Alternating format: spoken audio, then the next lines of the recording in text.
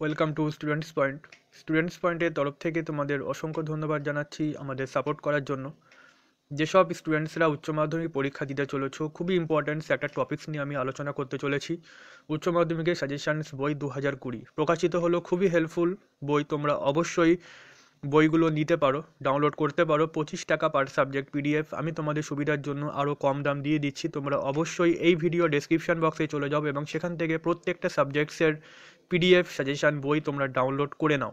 সেখানে তোমরা একশোটারও বেশি পেজ পাবে এবং প্রত্যেকটা কোশ্চেনে খুবই গুরুত্বপূর্ণ এমসিকিউ এসএ কিউ কোশ্চেন এছাড়া বড় কোশ্চেনের কোশ্চেন প্লাস উত্তর সহ খুব ভালো করে ডিজাইন করা হয়েছে বইগুলো। দেখতে পাচ্ছ ইংলিশ এডুকেশন ইতিহাস, ভূগোল বাংলা, সংস্কৃত, রাষ্ট্রবিজ্ঞান, এছাড়া শিক্ষাবিজ্ঞান এবং দর্শনের সাজেশন বই তোমরা পেয়ে যাবে। অবশ্যই ডেসক্রিপশন বক্সের লিঙ্ক থেকে ক্লিক করে তোমরা ডাউনলোড করে নাও। আর যারা পেমেন্ট করতে ভয় পাচ্ছ, আমি বলে দিই, তাদেরকে এখানে পেমেন্টের কোনো ভয় নেই। মোস্ট সিকিওর এবং সেফ তোমরা জাস্ট পেমেন্টের টাকাটা দেবে এবং বই ডাউনলোডের লিঙ্ক তোমাদের অটোমেটিক রেজিস্টার্ড মেল আইডিতে চলে যাবে। তোমরা যারা বই ডাউনলোড করতে পারছ না পেমেন্টের পরে অবশ্যই তোমাদের মেল আইডি চেক করবে এবং সেখান থেকে তোমরা ডাউনলোড লিঙ্ক পেয়ে যাবে। যারা পেমেন্ট করতে ভয় পাচ্ছ, আমি তাদেরকে বলছি এখানে আরেকবার মোস্ট সিকিওর এবং সেফ জাস্ট তোমরা অ্যাকাউন্ট নাম্বার এছাড়া যে কোনো ওয়ালেট থেকে তোমরা কিন্তু পেমেন্ট করতে পারো।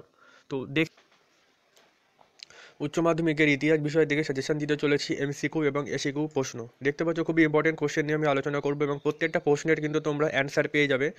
অবশ্যই ভিডিওটা পুরোটা দেখবে। আমি প্রথম অধ্যায়, দ্বিতীয় অধ্যায়, তৃতীয় অধ্যায় এবং চতুর্থ অধ্যায় নিয়ে এখন আলোচনা করছি। নেক্সট ভিডিওতে আমি কিন্তু পঞ্চম অধ্যায়, ষষ্ঠ অধ্যায়, সপ্তম অষ্টম অধ্যায় সাজেশান নিয়ে আলোচনা করব। তোমরা অবশ্যই এই ভিডিও ডিসক্রিপশন বক্সে পরের ভিডিওর লিঙ্কটা পেয়ে যাবে। জীবনের জলসাঘর কার আত্মজীবনী? মান্না দেব রাজতরঙ্গিনী রচনা করেন কলহন ভারতের ইতিহাসে জাতীয়তাবাদী ব্যাখ্যাকার হলেন রমেশচন্দ্র মজুমদার। প্রত্যেকটা কোশ্চেনে কিন্তু তোমরা অ্যান্সার পেয়ে যাবে, দেখতে পাচ্ছ। আর তোমরা অবশ্যই সাজেশান বইটা ডাউনলোড করে নাও। ডিসক্রিপশন বক্সে লিঙ্ক রয়েছে। লোককথার জনপ্রিয় গল্পকার হলেন উইলহেম ও জেকিব গ্রিম। অভিধানিক অর্থে মিথ বলতে বোঝায় কল্পকাহিনীকে। লর্ড অ্যাক্টন গুরুত্ব দিয়েছেন ঘটনার মূল্যায়নকে। জাতিগর্বে তত্ত্ব তুলে ধরেছেন ক্রিপলিং। The classical accounts of India গ্রন্থটি লিখেছিলেন রমেশচন্দ্র মজুমদার। জীবনে জলসাঘরে কী ধরনের রচনা, স্মৃতিকথামূলক? পৃথিবীর সর্বাধিক প্রাচীন মিউজিয়ামটি কোথায় অবস্থিত? মেসোপটমিয়া। মিউজিয়াম শব্দটি এসেছে মৌসিয়ান শব্দ থেকে। Next Cambridge history of India গ্রন্থটি রচয়িতা করেন Dodwell annals of antiquities of Rajasthan গ্রন্থটি রচনা করেন কর্নেল টড প্যারালাল মিথস গ্রন্থের রচয়িতা হলেন J F Bierlein history of Hindustan রচনা করেন Alexander Duff Oxford history of India গ্রন্থটি রচনা করেন ভিনসেন্ট স্মিথ হাজারদুয়ারি জাদুঘর হলো একটি ঐতিহাসিক জাদুঘর। National museum of national history অবস্থিত ওয়াশিংটনে। রাষ্ট্ররঙ্গিনী মূলত কোন অঞ্চলের ইতিহাস রচনা করে? কাশ্মীর। মিথ শব্দটি এসেছে, মিথস থেকে যেটি হলো একটি গ্রিস শব্দ। যে ঘটনা যেভাবে ঘটেছে তার সঠিক বর্ণনার মাধ্যমে সে দেখানোই হলো ইতিহাস। উক্তিটি করেছেন র্যাঙ্কে। মৌখিক ঐতিহ্যের একটি বৈশিষ্ট্য হলো অলিখিত। ভারত হলো বিশ্ব সভ্যতার লীলাভূমি উক্তিটি করেছেন ভলটেয়ার হোয়াট ইজ হিস্ট্রি? লেখক হলেন ই এইচ কার। দেশভাগ স্মৃতি ও স্তব্ধতা লেখক হলেন হেমন্তী ঘোষ। সব ইতিহাসই সমকালীন ইতিহাস। এটি কার উক্তি? Croce, the prince of Wales মিউজিয়ামটি কোথায় অবস্থিত? বোম্বাইতে। মিউসলি শব্দটি প্রথম ব্যবহার করেন লিওপ্লেট।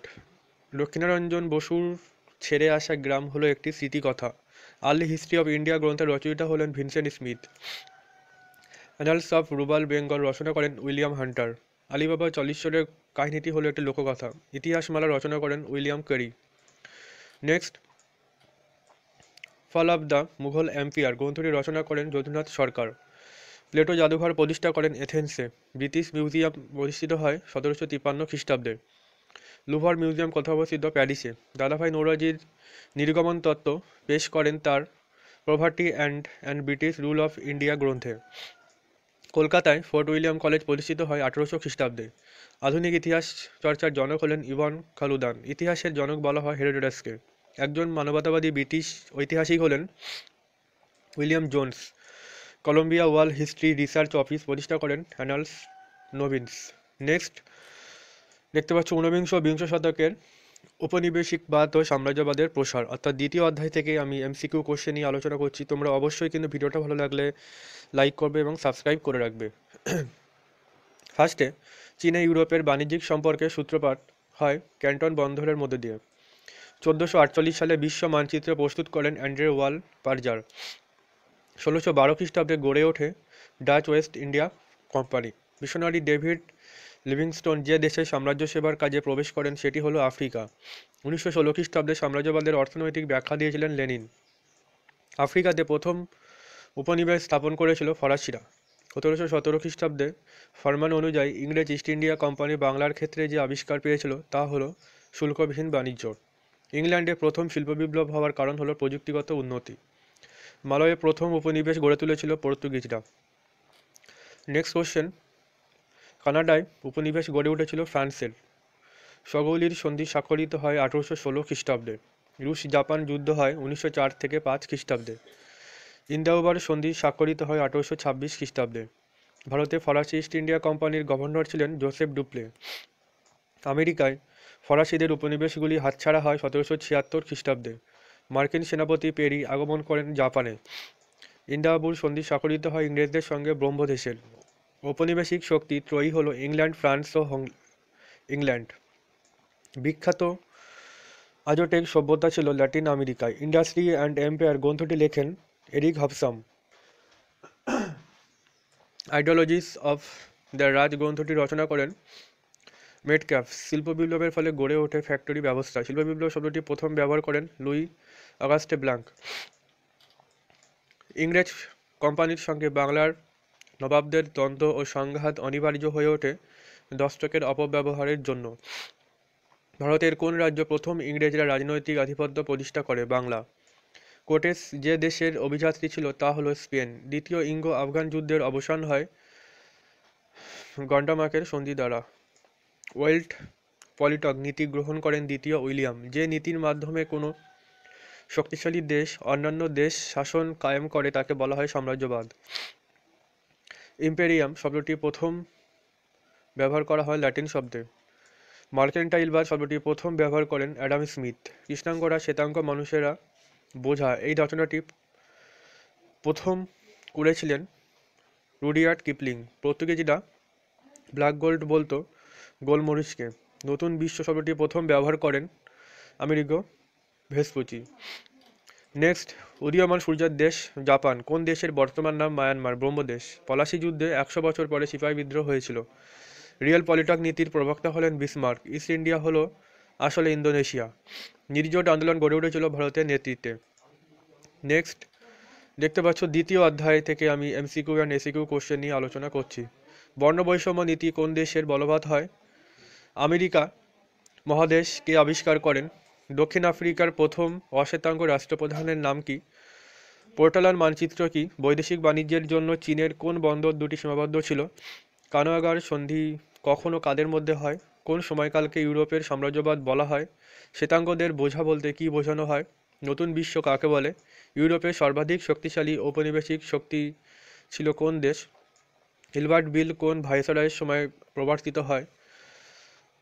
প্রলে প্রলেতিয়ারিতি কাদের বলা হতো? লগ্নি পুঁজি কাকে বলে? হিলফার্জিংয়ের লেখা বইটির নাম কি? আফ্রিকা। কেন অন্ধকারাচ্ছন্ন পরিবেশ নামে পরিচিত ছিল? নেক্সট, ক্যাপ্টেন কুক কোন দেশে আবিষ্কার করে? কোন অঞ্চলে মশলা দ্বীপপুঞ্জ নামে পরিচিত? সাম্রাজ্যবাদ বিষয়ে জে হবসানের মূল বক্তব্য কী ছিল? মার্কেন্টাইলবাদ কি? আমেরিকা কবে ইংল্যান্ডের উপনিবেশিক শাসনে অবসান ঘটে? কোন দেশ কার ওপর একুশ দফা চাপিয়ে দেয়? অতি রাষ্ট্রিক অধিকার কি? টিয়ানসিনের সন্ধি কবে, কাদের মধ্যে হয়? নয়া সাম্রাজ্যবাদের সময়কাল উল্লেখ করো। মুক্তদার নীতিকে আদর্শ সাম্রাজ্যবাদ কে বলেছেন? ষোড়শ সপ্তদশ শতকে ইউরোপের নিরিখে নতুন বিশ্ব বলতে কী বোঝো? লেনিন রচিত বইটির নাম কি? ভারতের একটি ফরাসি উপনিবেশের নাম লেখো। ভারতের কোন কোন স্থানে পর্তুগিজ বাণিজ্য কুঠি ছিল? নেক্সট। চীনে কোন বছর আফিম আমদানি রপ্তানি বন্ধ হয়? ইংল্যান্ডে শিল্প বিপ্লবের টেক অফ স্টার কোন সময়? আমেরিকার ব্রিটিশ উপনিবেশিক স্থাপনের পথিকৃতকে নেলসন ম্যান্ডেলা কেন প্রসিদ্ধ? লেসেট ফেডারের নীতি দুজন প্রবক্তার নাম লেখো। নয়া সাম্রাজ্যবাদ বলতে কী বোঝো? ইংল্যান্ডের ত্রয়োদশ উপনিবেশ কোথায় ছিল? কোন ইউরোপীয় দেশ চীনের সঙ্গে প্রথম ব্যবসায়িক সম্পর্ক গড়ে তুলেছিল? হোয়াইট মিউটিন বলতে কোন ঘটনাকে বোঝানো হয়? ভারতীয়দের হাফ চাইল্ড ও হাফ ডেভিল বলেছেন কোন সাহিত্যিক? বায়োমেট্রি বিষয়টি কে প্রবর্তন করেন? মার্কেন্টাইল জিম কে নিজম বলা হয় কেন? জে হবসনের লেখা বইটির নাম কি? হবসন লেনিন তত্ত্বটি বলতে কী বোঝো? কোন মার্কিন সর্বপ্রথম জাপানে পদার্পণ করেন? Next question.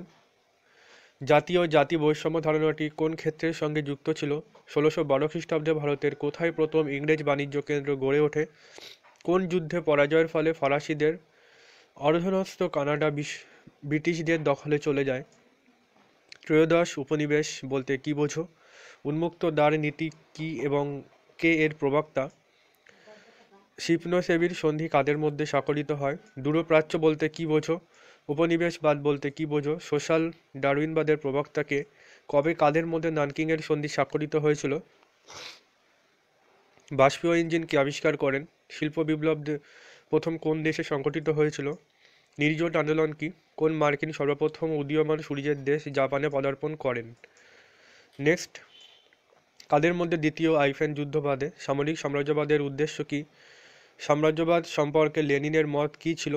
প্রথম ইঙ্গো চীন যুদ্ধ অহিফেনের ফল কি হয়েছিল? কার নেতৃত্বে কাঙ্গো অঞ্চলটি আবিষ্কৃত হয়? তো এ কটা কোশ্চেন দেওয়া হলো, তোমরা প্রিপারেশন নাও। নেক্সট আমি তৃতীয় অধ্যায়, চতুর্থ অধ্যায় সাজেশান দিয়ে দেবো এমসিকিউ এসিকিউ অবশ্যই সাজেশান বইটা ডাউনলোড করে নাও। ভালো লাগলে অবশ্যই লাইক করবে। তো আজকের জন্য